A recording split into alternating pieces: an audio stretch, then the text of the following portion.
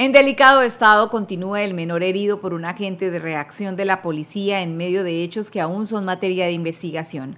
La madre del menor se encuentra en Bucaramanga, ciudad en donde es atendido el niño, por lo que pide a la autoridad competente apoyo en su permanencia en esta ciudad. La institución es la que debe hacerse responsable. Desafortunadamente yo no tengo eh, dinero como para suplir pues, las necesidades de mi esposo y yo, el papá de mi hijo, vivimos del día a día.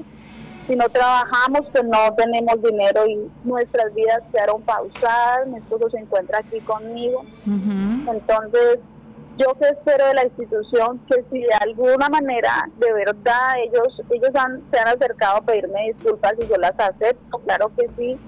Y si de verdad ellos están en esa en esa tónica de, disculparse, de verdad de, sentirse conmigo, por favor que mitiguen un poquitico, porque porque eso nada, el dinero no va a comprar la vida de mi hijo, el dinero no me lo va a devolver, ¿sí?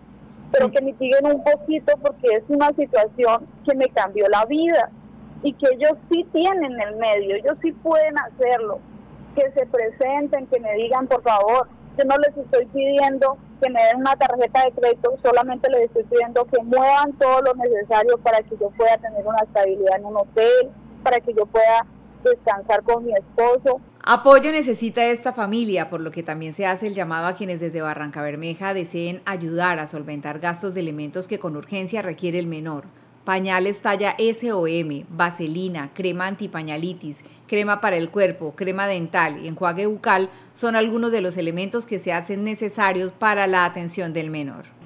Bueno, pues a las personas que, que puedan hacerlo, que puedan de corazón hacerlo, porque los que no pueden yo les voy a entender, no hay problema, tranquilos, pero aquellos que puedan hacerlo con toda libertad, eh, voy a, estar muy agradecida infinitamente y, de verdad estaré pidiendo a Dios que les multiplique el 100 y que mi número de NECI pues está disponible para, para recibir esas ayudas.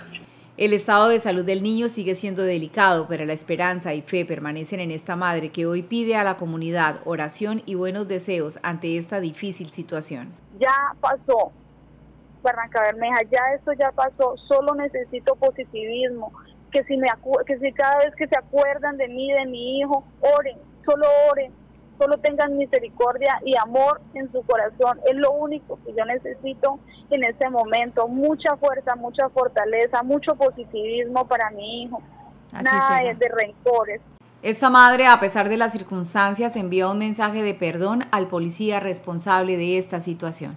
Yo quiero también ser muy clara en el tema de la persona que pues que tiene como la culpabilidad quiero que si me escucha y su familia me escuchan, quiero decirles que les perdono de todo mi corazón, quiero decirles que también estoy orando por ustedes para que sea Dios dándoles la misericordia, porque es la angustia que están viviendo también.